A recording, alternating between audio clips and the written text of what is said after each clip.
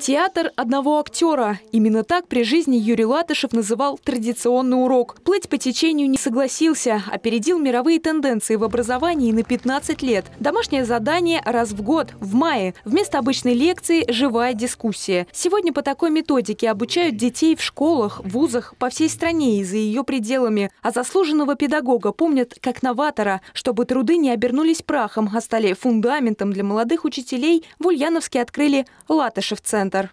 Э, задач у центра э, несколько. Э, ну, во-первых, это, конечно, само общение педагогов, новаторов, учителей года с будущими учителями, со школьниками.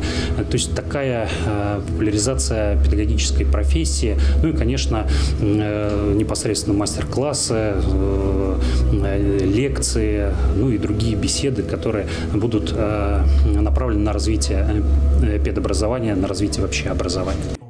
Центр будет работать одновременно на нескольких площадках – в Педагогическом университете, в 44-й гимназии и 101-м губернаторском лицее. В последнем в честь открытия прошла педагогическая ассамблея, как знак начала развития нового для российского образования направления. В зале почетные гости, заслуженные педагоги, народные учителя. В будущем Латышев-центр позволит проводить крупные научные семинары. Это подчеркнул зампред регионального правительства Сергей Кучец.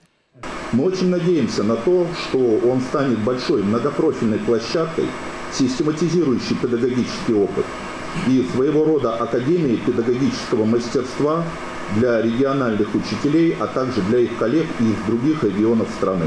Кроме того, к 2025 году Центр станет стажировочной площадкой международного уровня. По культурно-образовательным маршрутам пройдут тысячи педагогов мира. Это один из основных пунктов плана развития.